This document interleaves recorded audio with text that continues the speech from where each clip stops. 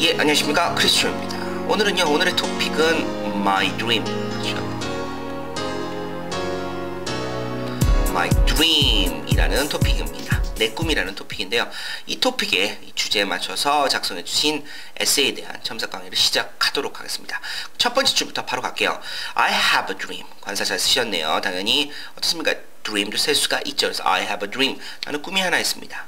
Do you know? 당신 알고 있습니까? 뭘 알아요? What it is. 자, 잘하셨어요. 의문사 한 다음에 주어, 동사에서 간접 의문 형태. 그쵸? 이것이 무엇인지 아십니까? 이것이 무엇인지 아십니까? 간접 의문문 활용 잘 하셨습니다.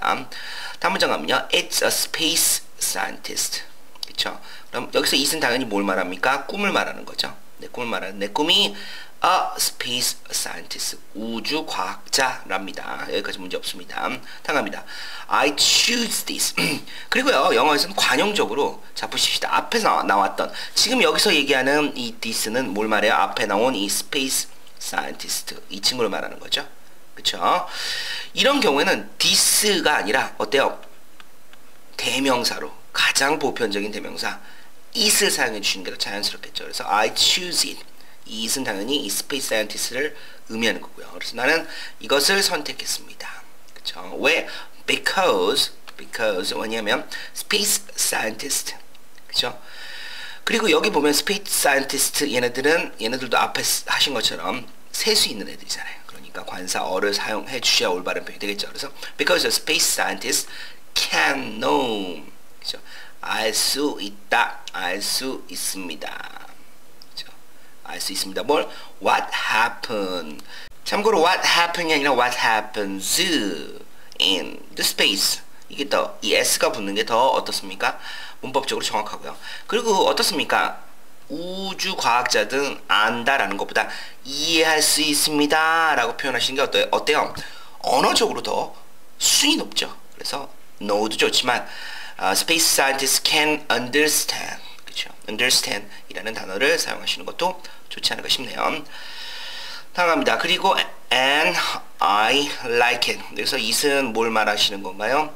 즉 space scientist 여기서부터 여기까지 그 우주에서 무엇이 일어나는지를 알 수 있다라는 그 사실을 말씀하시는 건가요?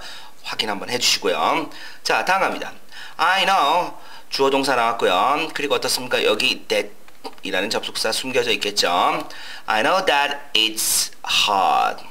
나는 어렵다는 걸 압니다. 근데 이시 뭘 말합니까? 이 투부 정사 밑에를 얘기하는 거죠. 그렇죠? 진짜 주어는 이 투부 정사 미, 밑이에요. 그래서 to be a space scientist. 그렇죠? 우주 과학자가 되는 것이 어렵다. 형사입니다. 어렵다라는 사실한다. 이라는 표현이 되겠죠. 잘하셨습니다. 나갑니다. But I will make my dream come true. 하지만 I will make my dream. 자, 이게 문법적으로 보면요. 자, 보십시다. 실제로는 make my dream come true 관용적으로 많이 쓰여요. 하지만 정확히 문법적으로 따지자면 my dream은 뭐예요? 이게 my dream이 주어인데 얘는 3인칭 단수 현재입니다. 그쵸? 무슨 얘기예요? 그 얘기는 come이 아니라 comes true가 돼야 완벽하게 문법적으로 들어맞는다는 사실 한번 기억을 다시 한번 해주시고요. 자, 다음 갑니다. I have to. 나는 뭐뭐 해야만 해요? have to 동사 원형이에요. 나는 공부를 해야만 합니다. hard. 열심히 해야 돼요. And I have to read a lot of books. 잘하셨네요, 복수. 나는 많은 책들을 읽어야 됩니다. And 그리고 I am doing now. 자, 여기 실수하신 게 I am doing. do는요, 참고로 타동사입니다. 그쵸? 타동사는 이게 뒤에 뭐가 있어야 돼? 목적어가 있어야 돼요. 내가 하고 있는 중입니다. 그쵸? 하고 있는 대상이 있어야 될 거 아니에요. 그쵸? 근데 지금 여기서 얘기하는 하고 있는 대상은 study hard, 공부 열심히 하는 거. 1번과 어때요? 어, read a lot of book. 책을 굉장히 많이 읽는 거. 이두 가지죠. 그러니까 and 나는 그것들을 모두를 하고 있어요 라는 의미를 하고 싶으시다면 I am doing them. 복수니까 그죠? 1번, 2번. 하나, 둘, 두 개 복수니까요. I'm doing them now. 그죠? 나는 그것들 지금 하고 있습니다. 라는 표현이 되겠죠. 괜찮으십니까? 자, 잠깐만 또 보시기 편하시 제가 살짝 좀 내려드릴게요. 예, 이 정도면 충분하지 않을까 싶네요. 다음 갑니다. I sometimes think. 나는 때때로 생각합니다. 여기도 어때요? 주, 뒤에 주어 동사 있으니까 that이라는 접속사가 숨겨져 있겠죠. 나는 이하절을 생각합니다. I wanted to give up. 자, 이것도 똑같아요. give up은 타동사입니다.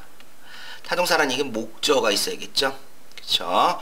그래서 이 만약에 my dream이라는 목적어 쓰면 I want to give up my dream 하셔도 되고 혹은 I want to 이 사이에 넣으셔도 돼요. I want to give my dream up 하셔도 돼요. 괜찮으세요? 근데 만약에 내 꿈이라는 그것이라는 대명사 is 쓰시잖아요. 그럼 반드시 어떻게 하셔야 돼요? I want to give it up. give it up. I want to give it up. 하시고 이렇게 반드시 이 가운데에만 들어가야 된다는 약속이 있죠. 우리 구동사 할 때 이미 배웠습니다. 그래서 I want to give it up 혹은 I want to give my dream up 혹은 I want to give up my dream 이 세 가지가 다 된다는 얘기입니다. 되셨습니까? 갑니다. But my dream stops in. 그죠? 하지만 나의 꿈이 얘가 동사예요. 나의 꿈이 멈춥니다. 멈추게 합니다. 뒤에 목적어가 나왔으니까 멈춥니다. 멈추게 합니다. 그죠? 근데 무슨 얘기인지 모르겠습니다. 이 부분 한국말로 다시 어, 써서 영어로 안 되면 한국말로 다시 써서 저한테 보내주시면 제가 또 영어 표현 정리해 드리겠습니다. 갑니다. I'm thank you. I'm thank you. 그죠? I'm thank you to my parents. 나는 부모님한테 감사합니다. 왜냐하면 근데 보세요. thank you라는 말이 나는 너에게 감사한다는 얘기잖아요. 그렇죠? I am thank you. 그죠? 나는 너에게 감사합니다. 우리 부모님에게. 그죠? 그래서 이제 땡크라는 말이 땡크란 말 자체에 얘가 감사하다라는 표현이 있어요. 얘가 동사로요. 감사하다. 그렇죠? 이 부분도 다시 한번 정리해 주세요. 우리 부모님에게 감사한다라는 표현이지 아니면 다른 의미지 정리하시고 만약에 우리 부모님한테 우리 부모님에게 감사한다라는 표현이면 그 표현으로 어, 수정해서 그죠? 교정해서 다시 보내주시고요. 당합니다. Because 왜냐하면 my parents help me. 우리 부모님은 help me 나를 도와줍니다. 그죠? 나를 도와줘요. 근데 뒤에 주어 동사 나왔으니까 여기도 어때요? 대신하는 접속사가 숨어 있는 거죠. 우리 부모님은 나를 도와줍니다. I can study. 그죠? 내가 공부할 수 있도록 나를 도와줍니다. 이런 표현도 좋지만 어때요? 이 help라는 동사는 우리가 이미 배웠던 것처럼 준사역 동사입니다. 그리고 오형식이 될 수 있어요. 그래서 my parents help me 그냥 스터디도 문법적으로 충분해요. 그렇죠? 스터디. 우리 부모님은 내가 공부할 수 있게 도와준다. 그래서 스터디도 가능하고 to 스터디도 가능합니다. 이게 지금 얘는 to 부정사도 되고 원형 부정사도 되고 그렇죠? 준사역 동사 help 준사역 동사 help의 특징이라고 그랬죠? 같이 배웠습니다. 그래서 my parents help me study 혹은 to study 두 개 다 가능합니다. 간단한 표현이 있어요. 당감이요. When my mom and dad 언제 my mom하고 dad 우리 아버지하고 어머니가 wasn't my mom and dad 이거는 뭐 그런 의미로 쓰신 거예요. 우리 어머니가 우리 어머니 아버지가 평상시 어머니가 어머니 아버지가 아닐 때 그런 의미인가요? 정확한 그 그런 의미인 것 같은데 그래도 혹시 모르니까 한국말로 다시 한번 의미 확인해 주시고요. 그래서 그럴 때 I couldn't do 나는 할 수가 없었습니다. 뭘 공부를 할 수가 없었습니다. I couldn't do 나는 공부를 할 수가 없었습니다. 당합니다. So 그래서 I always thanks. 나는 항상 thanks to my mom. 여기 제대로 하셨네요. 그렇죠? 나는 우리 어머니한테 항상 아 어, 어머니 아버지에게 감사합니다. 그죠? 고마워합니다. 괜찮으십니까? 근데 자 여기도 중요한 게 자 보세요. 땡크가 동사라고 그랬잖아요. 괜찮으십니까? 땡크가 동사라는 얘기는 여기 어때요? 주어 주어가 3인칭 단수 현재일 때만 여기 s가 붙겠죠? 보이십니까? 그죠? 근데 여기 thanks 붙으면 안 되잖아요. 그죠? 주어가 3인칭 단수일 때 s가 붙어 있죠. thank 자체가 동사기 때문에 그죠? 얘는 1인칭이기 때문에 so I always thank to my mom and dad 이렇게 하셔야 되겠죠. 괜찮으십니까? 다시 한번 확인해 주시고요. 나갑니다. And I will make my dream come true. 그리고 나는 나의 꿈을 이룰 겁니다. 여기도 dream, 원래 정확한 문법상으로는 dream comes true라고 그랬죠. 다시 한번 가세요. 그리고 어때요? 지금 이 앞에 문장, 이 친구와 1번 문장과 2번 문장이 연결성이 너무 떨어지잖아요. 뭐 조금은 결론을 내려면 아 결론으로서 나는 나의 꿈을 이룰 거야 라는 결론을 이끌어내려면 어때요? 조금 연관성이 있고 그쵸? 아, 네가 이래서 당신이 이래서 꿈을 이루려고 하는구나 라는 어떻습니까? 설득력이 있는 문장들이 와야겠죠. 글짓기라는 건 영어도 그렇고 우리나라 말도 똑같습니다. 그 누가 들어도 아, 그 누가 읽어도 아, 얘가 이래서 이렇구나 이런 결론을 냈구나 라는 그런 설득력을 가지면 가질수록 좋은 글이 되는 거겠죠. 그래서 다시 한번 말씀드리고 좀 정리를 해드리자면요.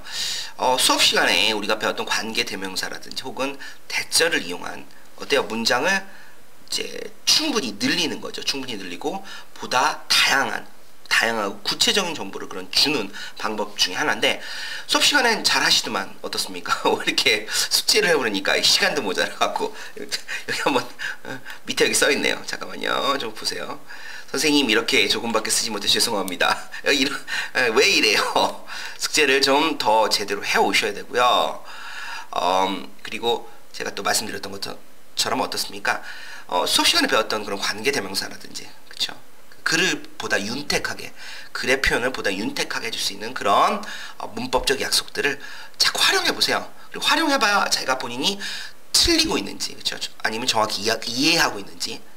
선생님의 첨삭을 통해서 확인할 수 있으니까 다시 한번 그런 부분 좀 확인해 보시고요. 혹시나 추가적으로 궁금한 사항이나 질문사항 있으시면 언제든지 또 어, 저희 그 사이트나 동영상 밑에 질문을 달아주시면 제가 또 추가적으로 어, 강의 준비하도록 하겠습니다. 그럼 또 다음 첨삭 때 뵙겠고요. 오늘도 수고하셨습니다. 감사합니다.